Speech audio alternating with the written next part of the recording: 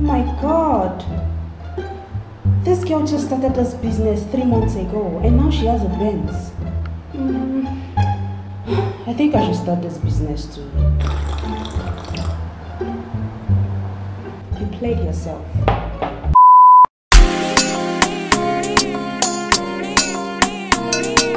Hi Susie gang, welcome back to my channel. So if this is your first time stopping by, hello there. My name is Susan and I'm a lifestyle and food blogger currently staying in Cross River State.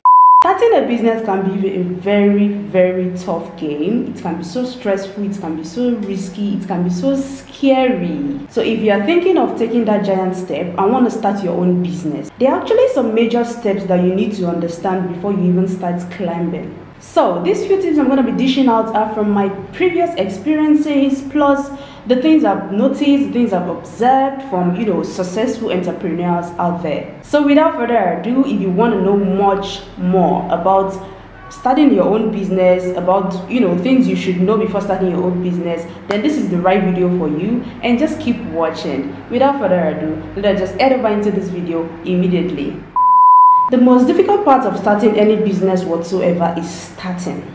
Starting is always the most difficult part because first you have to make a decision, you have to plan, but then that business you want to start, have you made your plans? Have you written down the things you want to know? Have you written down, you know, how you're going to save your just your major plans, have you written them down? Do you really have passion for this business you want to start?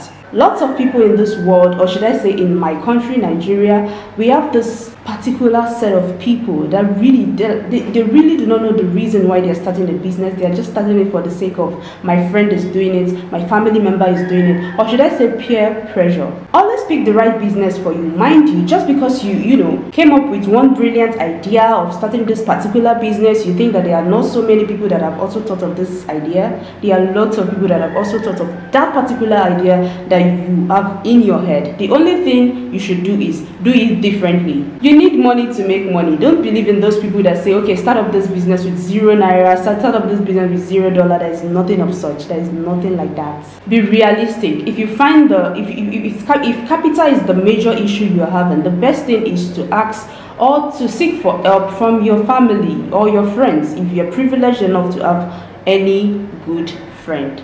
Spend wisely, don't spend above your savings. Bill Gates, Dangote, those big people with big businesses they won't be where they are today if they spent all they have on you know living the life you know you just work and in three months you gain something. And the best thing your head could think of is to get events or the best thing your head could think of is to go to the club enjoy yourself post for the gram and all that shit. No. In case you want to spend money on cards you want to spend money on logos you want to spend money on you know things that are not really really important. Focus on your first priority you have free visa to canva and monkey apps these two things are apps that you could use to create your own logo you could use to create your own banner if you know if posting online is like the major thing you want to do for now Use your time to create logo for yourself. I've seen entrepreneurs that never had website, neither do they have, you know, cards or all of that. You don't need that for now. All you need for now is hustle, make calls, communicate with people, connect with people, advertise yourself. No one can advertise you than you. Invest your time in growing your business consumers and invest your money in your business. Don't spend more when you've not even gotten the result of the one you've spent. Promote yourself if that's the best thing. Promote yourself. We have so many social medias. Internet is now the future. We have over 1.7 billion people on internet. If promoting is the thing that is going to help you, do that and start early so that people would know that yes, this is a new business, this is a fresh business from the start. Just do you. Your customers are your major priority because you cannot make any gain, you cannot make any profit without them. Deliver to them what they want, not what you think they want. And don't expect to be blown under a month or two or three months. It takes years, it takes months not just one month, two months, three months, and you think you're gonna get yourself a Benz. I'm sorry. Are you kidding me right now? Mind you, your Instagram followers, your Twitter followers, your YouTube subscribers, they are not really your customers. Some of those people are actually following you for your content, not for what you want to sell. So before you before you start any business, open that okay, I have 3,000 subscribers. I have no, let me okay, I have 300,000 followers on Instagram. I believe that whenever I start this business, this amount of people are gonna, you know, buy my stuff do this do have you tried to communicate? Have you are, are you close to your audience? Do you pay attention to what they really want? Do you try to post on your story to see okay are these people really gonna like this? Or do you just start because you believe that yes i have this amount of people obviously they're gonna get what it nah bruh it doesn't work that way. Don't be in partnership with just anyone any company anybody that comes to you Take your time. Surround yourself with the right mentors. Try to connect with people that you know that yes, these people are really, really big in this business. I should connect with them. They're going to be of good help to me. Connect with them. They're going to help you. They're going to, you know, boost your morals on this particular business that you're trying to start. The only difference between success and failure in any business is the right decision. Balance your timing before you start. Also know this that every day is not going to be rosy. Today you might have 100 orders, tomorrow you might have none. Next tomorrow you might have two. Next month you might have none at all. Falling is ordinary. Rising after falling is genius and guts. Good days actually come very late, but the bad days are so early. Like they come so so soon. The best thing is to be consistent. Just keep on moving. If you luckily start this business,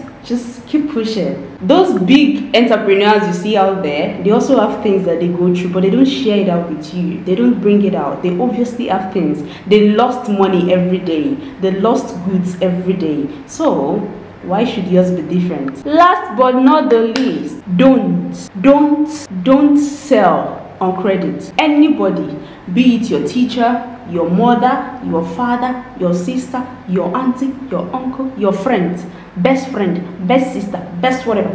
Don't sell on credit. This is business. There is no family in business. So yeah, research, start small, be consistent, stay dedicated, take it one step at a time. Starting up a business is not a small decision, trust me. Invest in your dreams, grind now and enjoy later. Make your research, plan yourself, do things accordingly and start that business. I know you're scared. I know it's very scary to start a business, but then if you really want to start, you have to start now. Now is the best time to start. So yeah, that is it for this video. I hope you guys enjoyed it and I hope that you really understand and I hope that you really really get my point. Starting a business is one of the most difficult things. I have a business but promoting is actually my major problem and with all those things I have to you know I, I literally just taught myself some certain things and I thought that yes let me share it with you guys because I know that there are one or two people that are out there